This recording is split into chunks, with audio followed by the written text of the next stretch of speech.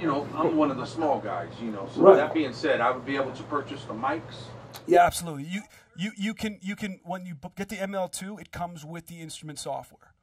So for 150 bucks, you will get all of those microphones. Now, you know, if you use them with an interface with a clean preamp, and the good news is, yes, there are other great interfaces with lots of clean, clean preamps there. It'll sound great. You know, uh, is it going to sound exactly like it would through the VRS8? No, but it'll probably still make some great music, and I'm not going to tell you it won't. You know, more questions? Yeah, over You here. got any more preamps coming? We do. We got quite a few preamps coming. In fact, they're in the works right now. Any hints? Uh, yes.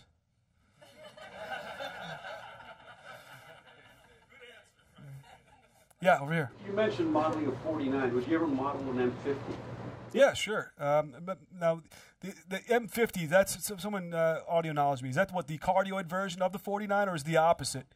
It's the Omni. So, so we can't model an Omni uh, because technically this, this is only cardioid. So we can do the cardioid of anything. For instance, like our 121 model on the uh, little mic.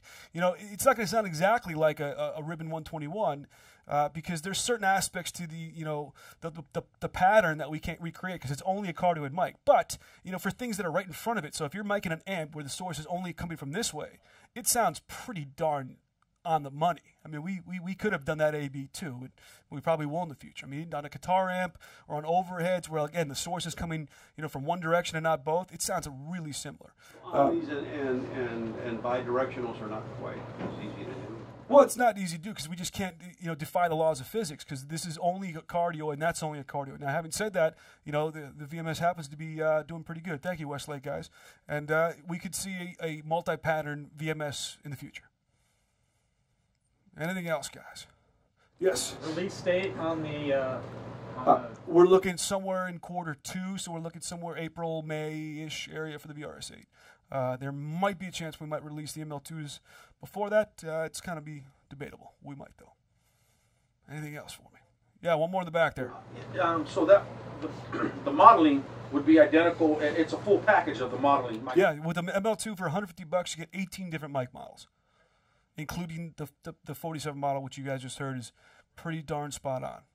Any more questions on YouTube? How's our DC couple guy doing? Did we find out what he wants to do?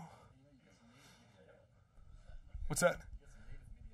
We do have native MIDI I/O. Sean, that does not touch the USB bus exactly. Uh, no, is our is our uh, DC couple guy? Uh, is he gone? No response. Okay. He just wanted to. He, he, he wanted everyone to know that he knows what DC coupling is. Good.